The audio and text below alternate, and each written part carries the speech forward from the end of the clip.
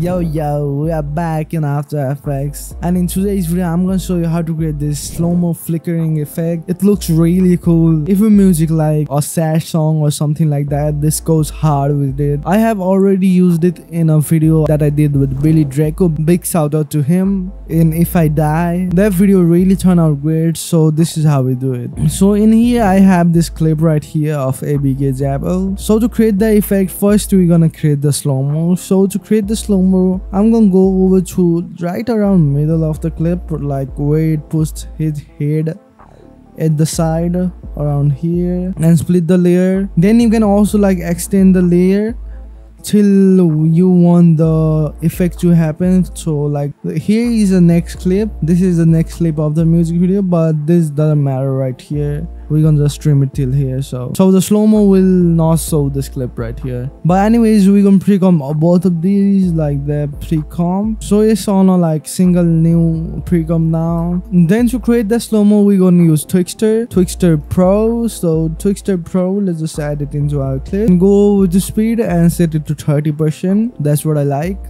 Like 30 percent like that. Maybe you can also like bring up the amount at the last if you want but it's up to you like that. So it's like a time wrap that looks pretty cool. You can see the slow-mo looks really cool. The twixtor is really is the sauce when it comes to slow-mo. It's way more better than those time interpolation. So make sure to grab twixtor is the sauce. So after that i like to add some smoke in here. Smoke overlay like this fog. For those i have this clip right here that i downloaded from youtube i guess or something like that. I'll link it in the description. This is a slow-mo of this fog which looks really cool. So let's just drag it into our timeline real quick. And it's really slow for me so i'm gonna go with time and make it like 40 percent or something like that. Uh like that something like that. Maybe even 30 percent would look good. Yeah that's a normal shit. That's cool. So after that i'm gonna scale it up. Uh, so all of these floors are not there. Those floors. Scale it up like there like that. And to remove the black we're gonna toggle fusion and morph and set the blending mode to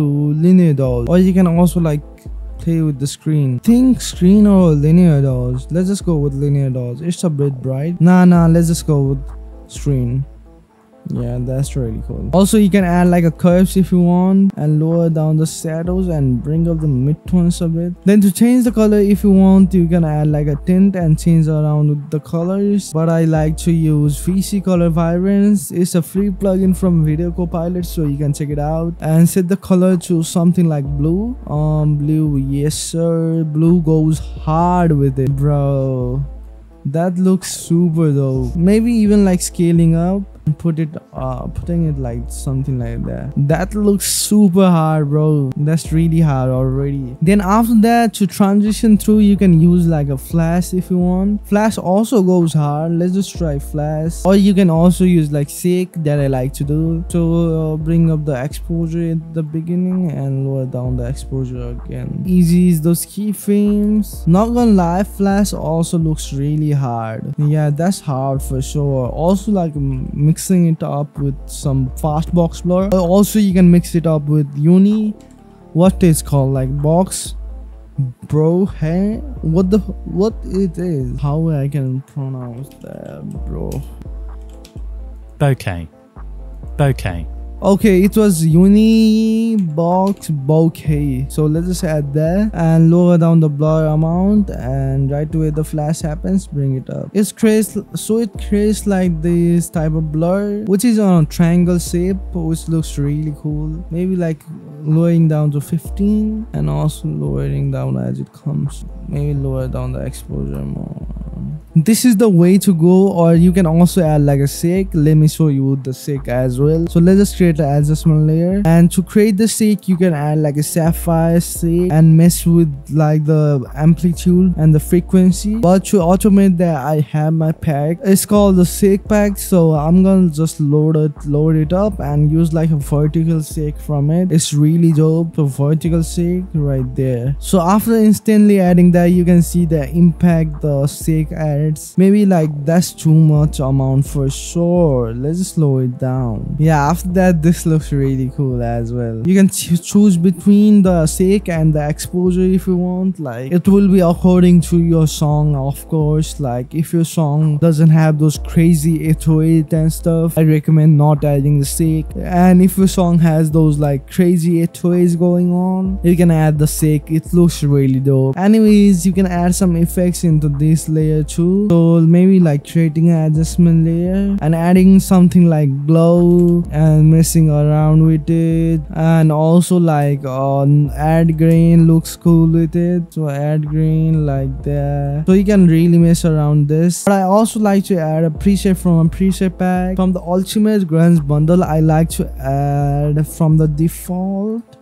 I guess black and white glow go, goes really hard with this. So let's just add black and white glow. You don't really have to use my preset pack. You can create the effects from your own. It's totally fine too. But what preset packs allows you to do is automate those process so it's easier for you when you're editing like a long video, like a full music video and you wanna get done work faster. It really is the clutch and comes with the unique effects as well so you don't have have to like play around with different effects to, to get something that you like you can just drag and drop. You already know the drill. The link will be in the description if you want to download these packs that i'm using. It's really dope. And after adding the preset you can see the really cool flicker and those glows it adds it turns into black and white as it goes. Looks really cool. This is hands down one of my favorite preset pack i made. So you can check it out if you want. Maybe also like putting the smoke before the black and white would look really hard as well. Nah, nah, nah, nah, nah, nah, nah. It doesn't get the feel. I'm wrong, bro. I'm wrong. But anyways, my final effect looks something like this. So yeah, that's it for today's video, guys. If you like this video, please consider hitting the like button and also subscribe to my channel so you are locked in with all the tutorials. I'm uploading daily on July. So it's a really great time to like stay locked in with all the tutorials, you know. So yeah, see you in next video. Peace.